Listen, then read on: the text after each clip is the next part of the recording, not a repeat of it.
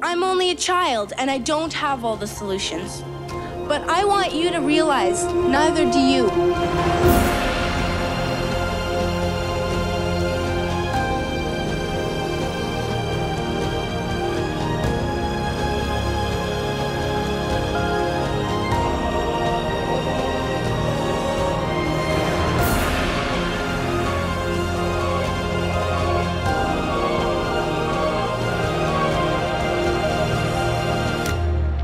If you don't know how to fix it, please stop breaking it.